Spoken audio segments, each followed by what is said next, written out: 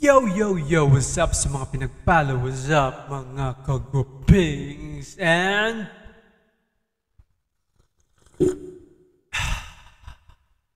I love this coffee.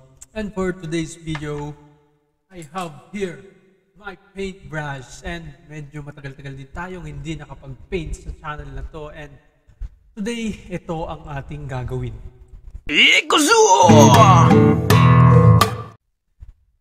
Sa mga nakakakilala sa akin, talaga namang napakahilig ko sa coffee. Yan. And luckily, we got some sponsors. Yan. And this mic na ngayon nyo lang matatagpuan sa aking channel. Yeah, sa past videos ko, pag nagsasalita ako sa harap ng camera dito sa aking kwarto, wala kayong makikitang mic sa harapan ko. Meron yung lapel lang pero uh, hassle gamitin yun. Ito, yan, nakafix na, intact na. And this is a sponsored microphone and binigay ito ng BCM. Yes, BCM stands for BC Nurse Coffee Mix. Yan, this is a company that produces different products like I have one here. Like this one. Nurse Coffee Mix. This is the 20-in-1 coffee mix. Yan. And binigyan tayo ng isang box and kinakapi ko na to sa isang linggo. At ito, yan, ito. Kasi, tignan nyo. Iisa na lang ang laman. So, nung pagkabigay na pagkabigay sa akin ng coffee na to, ito at ito lang ang aking kinakape buong linggo. And may 20 na different ingredients to and yes, may something different with this coffee. Masasabi kong meron talagang different sa coffee na to. May kakaiba. At yun, napansin ko na yung mga normal na coffee, pag iniinom ko yun, after kong maubos yung certain cup of coffee ko, papansin ko, I feel tired. Minsan nga, uh, nagpapalpitate pa ako eh. Pero uh, sa akin, it's just normal. I, I think that's normal. But when I tried this one, yan, this coffee that I drink, talaga namang iba yung tama. Iba yung pakiramdam niya.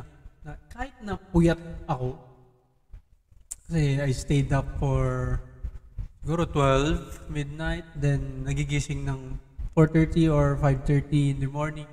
Yun yung body clock ko eh. Kahit na nakaset yung alarm ko ng 6 a.m., magigising at magigising ko ng ganun aga. And by that, I drink this coffee. Then after drinking it, puno, puno, punong-puno ako ng sigla. Wow, parang parang magic pakinggan, di ba? Pero hindi yan magic, guys. Yun yung pakiramdam ko when I drink this coffee. Marami siyang various ingredients na nakasulat dito. But hindi ako masyadong magbabasa ng ganyan. And it's FDA approved, kaya safe siya. Tsaka may collagen siya. Yung collagen yata pang paputi ng balat. I don't know. Basta I enjoyed this coffee a lot. Na napaka iba yung dating sa pakiramdam na na-energize ka kahit na burnout na burnout ka na.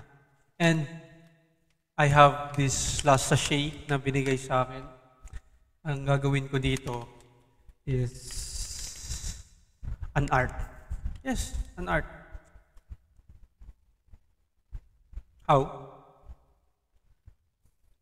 I have paint brushes, cups, and,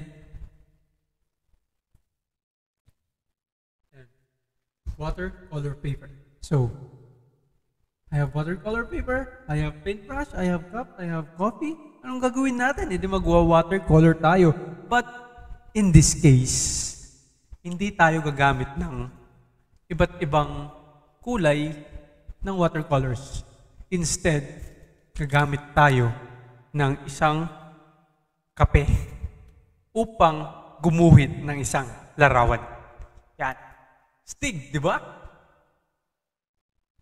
And yeah, I enjoy this mic. Ganda, di ba? Thank you so much, Visioners Coffee Mix. Last na, la- last na tong kape ko na to, kaya kagamitin ko na sa pinaka kaya kong best na gawin. Pero, backhand man! so, ano pang hinihintay natin? Ubusin na natin tong kape na ito. And, let's paint, baby.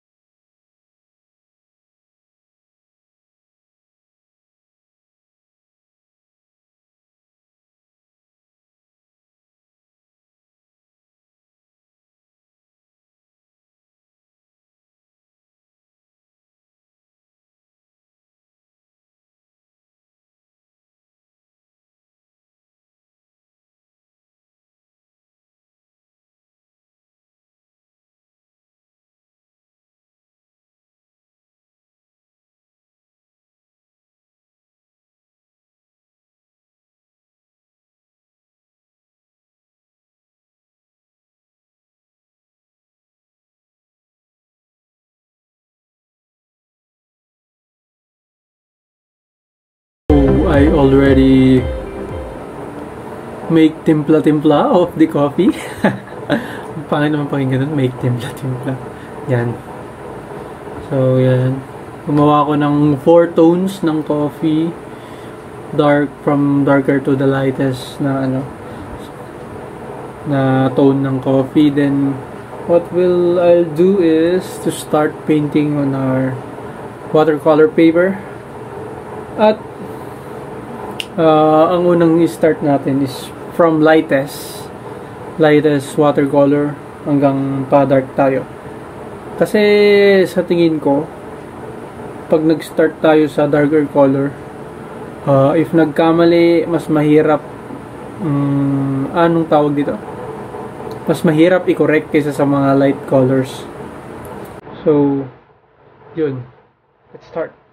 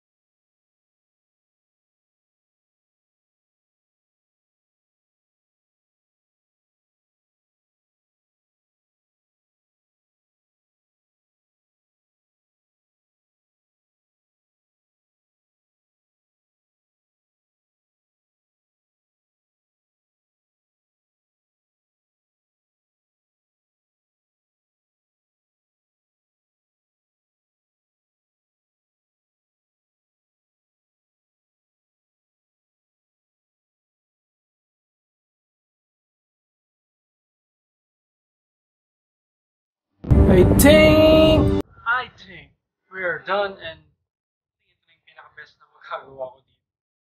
And one, two, three. So, uh, actually yung texture hindi siya okay. Parang caramel. Malagkit yan. Tadan, tadan, tadan, tadan. Tapos na. And this is my Visionaries 20 in 1 coffee mix. Watercolor portrait. Bye bye. So don't forget to like, subscribe, and share this video if you enjoy it. And yes, tag your friends. And eh, yun lang. Bye.